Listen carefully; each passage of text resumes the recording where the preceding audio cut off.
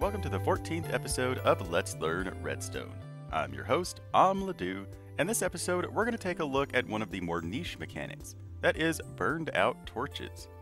This mechanic is seeing more and more use as time goes on, because it kind of replaces observers in a way. But how would a torch ever replace an observer?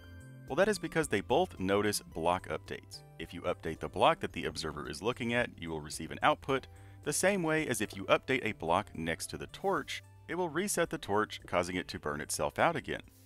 So in this example, the torch is strongly powering the block above it, which is powering the dust that is turning off the torch. So it turns itself on and off so quickly that it burns itself out. If you toggle a torch too fast, the game just burns out the torch, assumingly for lag purposes. But this isn't limited to just placing blocks. It can notice crops growing and all kinds of other things. Basically any change that will update a block next to the torch. So a redstone torch can basically see anything that an observer can. In Bedrock, observers notice changes in block updates, whereas in Java, observers notice changes in block state. Now, these things are very similar, just ever so slightly different. But for practical applications of the burned out torch, all we really care about is like sugarcane, bamboo, and grass. All three of these farms are super basic and simple, yet really expensive because they use tons of observers. But we can replace all of the observers with a simple redstone torch to notice when the sheep eats the grass or when the crops grow. But just know that there are tons of things that can refresh a burned out torch. Now, burned out torches are not going to replace all observers. Even though they can notice the same things that observers can, they're omnidirectional, meaning that if any of the six blocks that are touching the redstone torch receive an update, the torch will refresh. Whereas an observer uh, just has a single direction. You know, it's only looking where its face is for a block update. If you update one of the blocks next to or behind the observer, nothing happens. Now there are some key differences between torches and observers, but one way to visualize a burned out torch is to picture it like an observer that has six faces. It has a face on every single side of its block, so it's looking all around and up and down and everywhere. Now to prevent a torch from burning out, all we have to do is add a little bit of delay in between the torch turning itself off. Now on Bedrock, this delay can be minimal, it just requires a single repeater or a single comparator. But on Java, a torch will still burn out even with a slow clock. So you will need a much longer delay between torch activations if you're playing on Java, which is really frustrating because we have this super simple, nice clock that we can use here on Bedrock. And that's one really great thing about Bedrock is that our torches don't burn out from slow clocks. A torch doesn't actually need to be on the side of a block in order to burn it out. That's just the most compact way to do it. But we could put the torch on top of a block and just loop the redstone back around, or have another super fast clock to turn it off. Now one really interesting thing is if we break the redstone, it resets the torch. I have no idea why this works, or how the torch sees that the redstone loop is now broken. Because as far as I know, dust doesn't update, you know, dust farther down the line if you change or break it. But we could also make this more compact simply by adding a target to redirect the redstone. And if you wanted to use this in a custom machine, what I would probably do is just use a piston. A piston activating will refresh the torch, even if that piston isn't moving a block.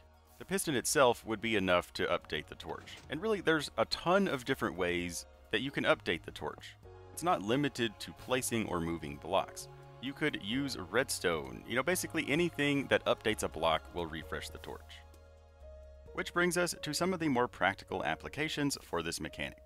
The first of which being on wool farms to replace the observers with a redstone torch. When the grass is eaten or when it grows, the torch will notice it and cause it to refresh, which will then activate the dispenser to shear the sheep. And because this is omnidirectional, you could have a grass block on both sides of the torch with a sheep on top. The torch is strongly powering the dispenser, causing the infinite loop and of course, the dispenser has some shears inside to shear the sheep. And even though it activates multiple times, that doesn't actually affect anything at all. Similarly, we can use this with sugarcane and bamboo. As the crops grow up next to the torch, the torch will notice the update and refresh itself, causing the piston to harvest your crops. And we could just run this off, you know, have a single torch for an entire row of sugarcane or bamboo.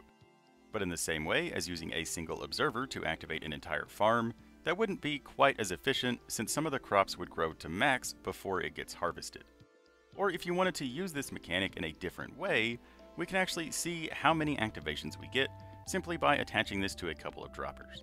And we can see that we get 7 activations, at least here on Bedrock.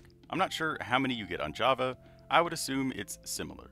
But I actually don't think you could trigger droppers using a burned out torch because Java droppers need to be slower. And since 7 activations for a clock is so unique, the first thing that comes to mind is a prize dispenser. However, there is something really important that you need to note if you are using this in custom machines. Now back in the day, these would activate any time you loaded the area. So it was like a notification that the area has been loaded. But now this is no longer the case. Regardless of where the chunks are, they won't activate. However, if you log out and then log back in, upon world load, they will activate. So if you use this as a prize dispenser, you would need a failsafe to make sure it doesn't activate just because someone logged into the world. But this also means that you could use this mechanic to activate something one time upon world load. So anytime the world is loaded, this would activate. So it can be kind of hard to figure out how we would use this in custom redstone. But for stuff like wool farms or sugarcane or bamboo, these don't care if it activates upon world load. You know, a sheep getting sheared an extra time won't actually do anything. The shears won't even take damage. So we can just replace all of the observers with a torch. And since the torches are omnidirectional, you could have one torch per two sheep if you wanted to. Now for sugarcane and bamboo, it's actually a good thing that it activates upon world load. Because if you only had like one torch controlling an entire farm, well some of the crops would grow to max and no longer be able to grow. But at least they would get harvested when you loaded the world. So for max efficiency, you would want to place a torch every 3 or 4 bamboo or sugarcane. But since the torch needs to be in the front, it will reduce the total volume of the bamboo or sugarcane.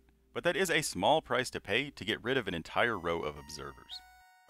It's actually really exciting to me seeing more and more people use burned out torches in their farms. I always loved this super niche mechanic, and it was one of the first things I ever learned about Minecraft Redstone. You know, like 14 years ago, back when Java was in beta and hadn't even been released yet, the first time I played with Redstone, I burned out a torch. And I was like, ooh, th there has to be something you can do with this. Like, this is so cool. But throughout the years, the best thing I ever really found was like a chunk loader.